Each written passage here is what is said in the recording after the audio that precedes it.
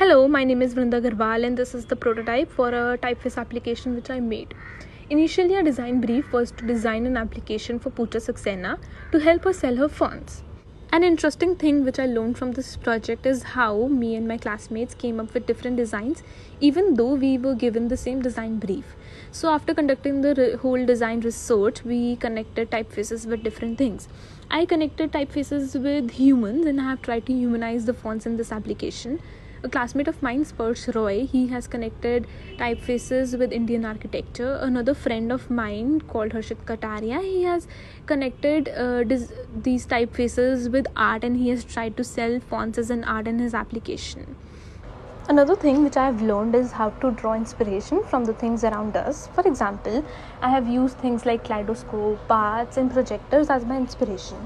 So by using these inspiration, we can give more of a story to our designs. The and it can help to enhance the experience which the user would get by using these uh, designs. So uh, the, these are the two things which I learned from this project. Thank you.